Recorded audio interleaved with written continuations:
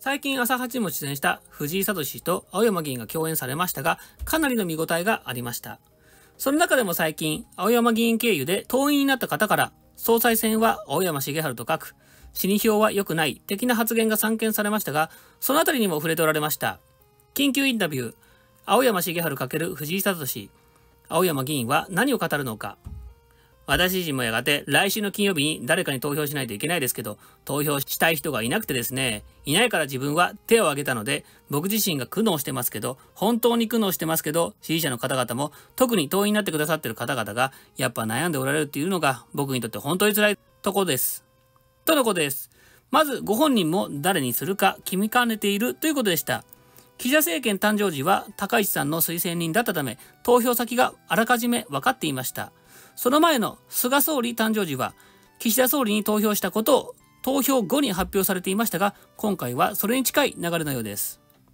先ほど、イミチクも今入れよと思う方がいないから手を挙げたから、今実はいないということもおっしゃいました。ですけど、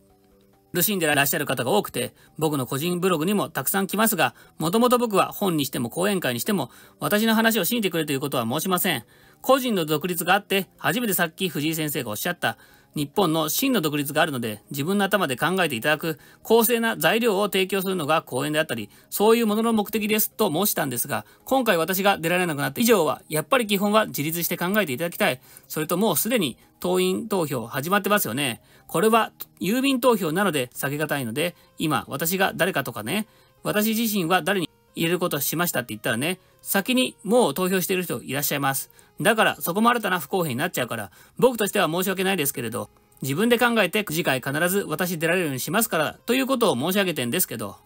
とのことでした。青山茂春議員事務所経由の党員の方に対して自分で考えてくださいとのことでした。ここからわかるのは、青山議員は今回の総裁選に際して、どの陣営にも属していないということです。青山議員のストロングポイントである党員票は、一次選挙の際に発揮されます。どっかに属していたら、僕は〇〇さんに入れますというものと思われます。翻すと、これはどの政権になってもポストにはありつけないであろうということも伺います。私の支持者のためだけに発信するのは良くないけど、参ってる人のために言うとですね、決選投票に残る人はもう3人です。決選投票に残る人はもう決まっちゃってて、これは今までの話みたいに決められてるんじゃなくて、実際の情勢で、それは情勢で、決選投票を残るためには、議員票367と、それから110万人の党員の投票を367にまとめますよね。決選投票になると、こっちが47に減らされちゃって、こっちは367のままですよね。何を言ってるかというと、僕が影響行使してるのはこっちですよね。そうですね。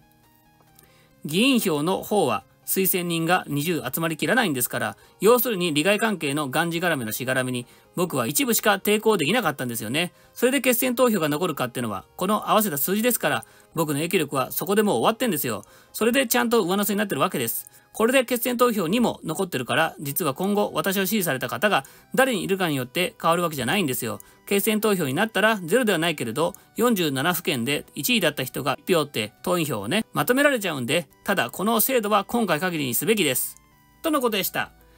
党員票の力をもっと上げるべきだということでした。個人的に思うのは自民党は党員を勧誘する際に総理を選べる唯一の政党的な発言をすることがあります。しかし参議院議員経由で入党した場合、その議員には総裁選で投票できません。にもかかわらず、参議院議員でも党員獲得のノルマがあるとするなら大きな矛盾があるように感じました。ちなみに藤井聡氏とのタイアップに関しては、青山議員のブログにも記載があります。日本がんじがらめ党総裁選編の6、無謀なる決起はまだ始まったばかり。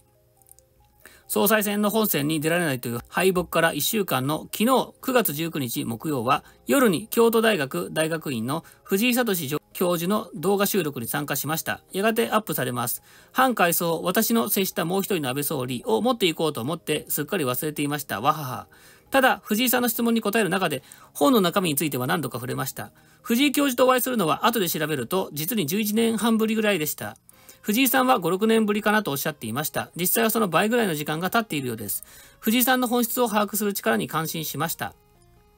日本がんじがらめと総裁選、身辺の7、みんなと木陰で話したい。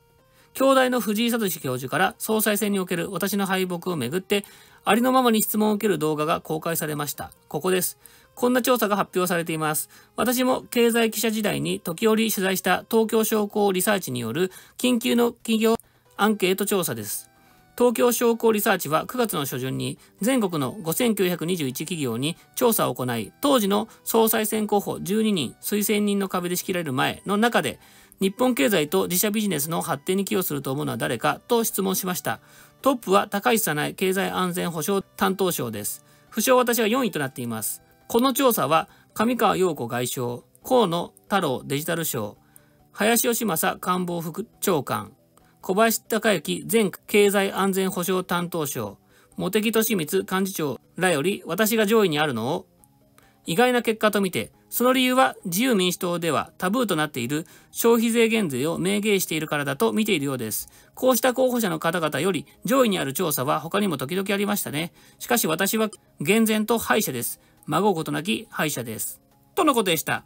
個人的には小泉氏、石破氏、高市氏、小林の中から2名決戦に進むのかなと感じていますが、今後の討論会やスキャンダル情報などでいくらでも上下すると思います。それ次第でゲアするかどうかが決まるため、自民党議員は戦々恐々としているように感じます。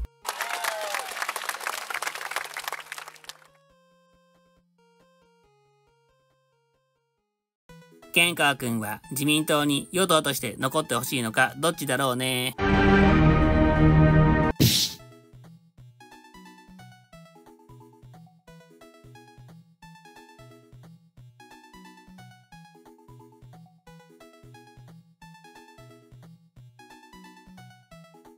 また一つお利口さんになったなチャンネル登録お願いします明日から本気出すから大丈夫。